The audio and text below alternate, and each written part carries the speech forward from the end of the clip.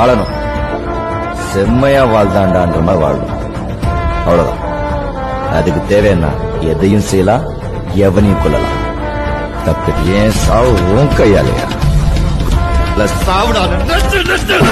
மத்தவங்க பார்த்து பயந்து ஒதுங்கும் போது ஒரு கிக்கு வரும். அதை மட்டும் அனுபவிச்சிட்டோம். அவ்வளவுதான்.